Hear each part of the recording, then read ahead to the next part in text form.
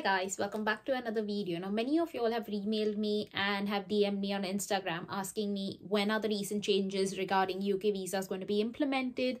Is it going to impact health and care workers? Because most of my followers on Instagram and YouTube are health workers in the UK. And to be very fair, I think this deserves a video of itself. So today's video is going to be all about this discussion, whether the salary threshold changes are going to impact healthcare workers, whether healthcare professionals can continue to get their dependents along with them, and finally, what's happening to the shortage occupation list in the UK. So if you are a healthcare professional planning to migrate to the UK in 2024 or 2025, this video is for you. But if you haven't already followed me on Instagram, do remember to follow me there because I give you tips not only about life in the UK, but also how how to create job applications, land those interviews, and finally start living your best life if it is your dream to come to the UK. So let's dive right into today's content. So on 4th of December 2023, the Home Secretary of the UK had said that he was going to issue the five point plan system, which is going to impact not only the student visa, but also the skilled worker visa and the PSW and all other visas. Now, as a part of this plan, he proposed several changes, but there was no clear clarity on when these changes would come into effect. They said roughly that it would come into effect in spring 2024, which is somewhere around March and April. But in the last two days, they've actually put out a document which states exactly when these changes are going to happen and what these changes are going to be and who is going to be impacted in this. Now, if you would like the link to any of the pictures that I show you on the screen right now, they're all going to be found in the description box below. So don't forget to check them out for yourselves. But let's just see what the first update is. So the first massive update, like you can see on your screen, is that social care workers will not be allowed to bring their dependents, that is their partners or children. Now again, I want to highlight the fact over here that this is only saying care workers. So now again, over here, I just want to highlight the fact that they are saying social care workers and not healthcare professionals. So see, for example, if you are a healthcare professional applying under the health and care worker visa, Hopefully, fingers crossed, this rule does not apply to you and you will continue to apply under the health and care worker visa and bring your family along with you. That is your spouse, that is your husband or wife, and your children. The second rule that you can see over there is that they wanted to raise the baseline minimum salary threshold for sponsorship for skilled worker visa from £26,200 to £38,700. And now again, the good news is that it is not applicable to health and care worker visa because most of us fall on the shortage occupation list and we have very low salary thresholds to be eligible for a visa as compared to some of the other skilled worker professionals. Now, for some of you out there who are thinking about, oh gosh, how much is 38,700? Let me put this into perspective.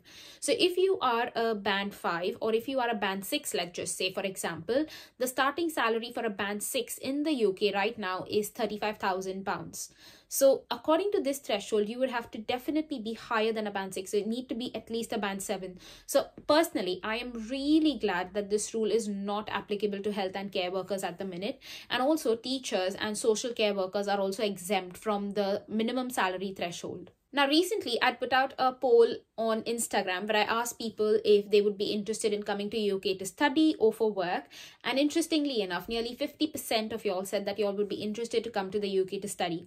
Now, one of the biggest catchwords for people to come to the UK to study is the graduate scheme, that is the PSW. So, many of y'all are looking forward to potentially coming to the UK, working on the PSW for about two years before you land a more permanent job. And again, as a part of this minimum salary threshold discussion, a lot of y'all were worried about about if this rule is going to be applied to you if you are sort of completing your student visa and looking to transition to your PSW. So as of right now, if you are somebody who is planning to come into the UK and study or if you are already on a PSW visa, fingers crossed this rule does not apply to you. This rule primarily stands for people who are coming and making their initial applications from abroad, that is from India, Pakistan, Bangladesh, Philippines or any other country.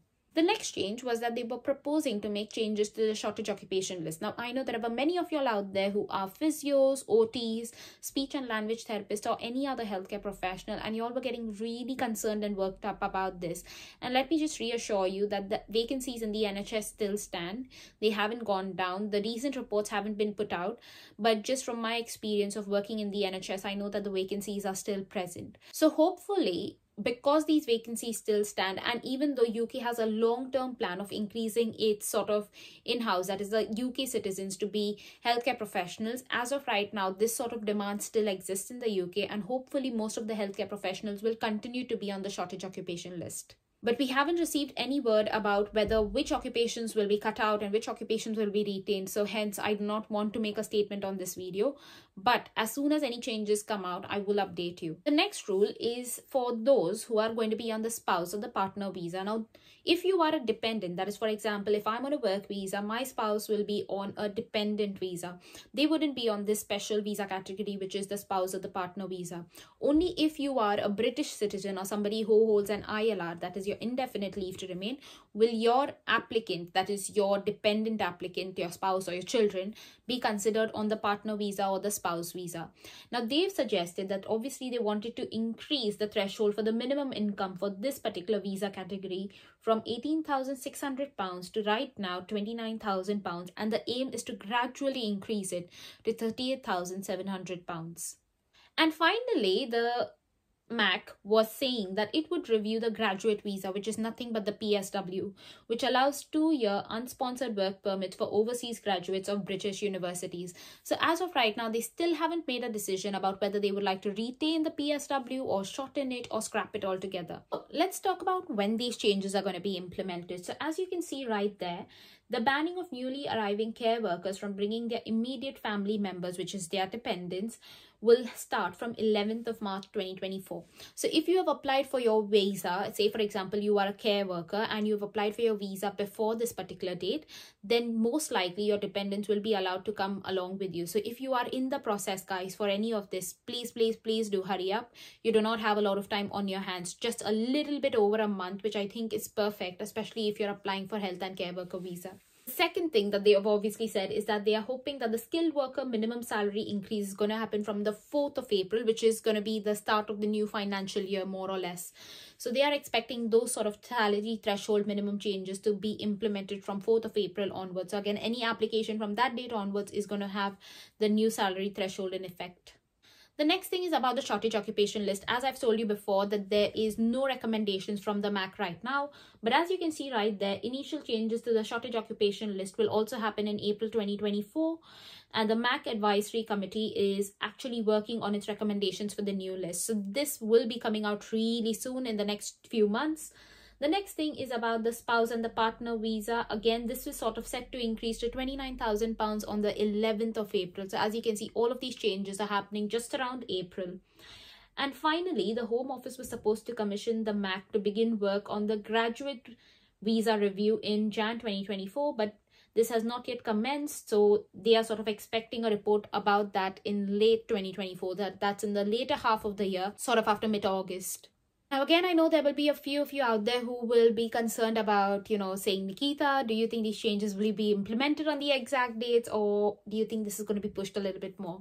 And to be honest, I think that it's going to be implemented on the dates that they have said. So again, I will leave the links for this in the description box below so that you are aware about it.